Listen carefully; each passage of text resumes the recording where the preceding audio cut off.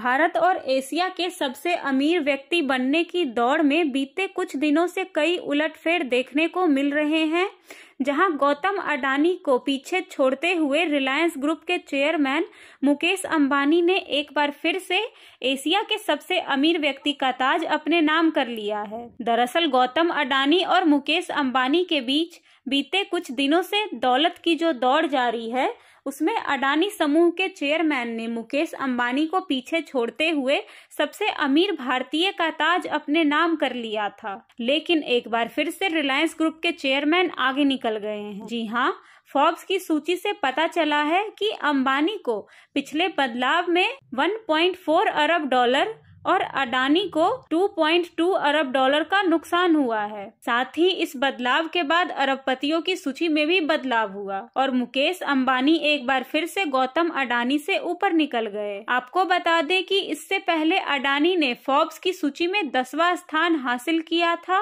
और तब उनकी कुल संपत्ति 637 मिलियन डॉलर बढ़कर 91.1 अरब डॉलर पर पहुँच गई थी। वहीं दूसरी ओर अंबानी 79.4 मिलियन डॉलर के नुकसान के बाद ग्यारहवें स्थान पर खिसक गए थे और वर्तमान में उनकी कुल संपत्ति 89.2 बिलियन डॉलर है। वहीं टेस्ला और स्पेसएक्स जैसी कंपनियों के मालिक एलन मस्क अभी भी अरबपतियों की सूची में पहले स्थान पर काबिज हैं।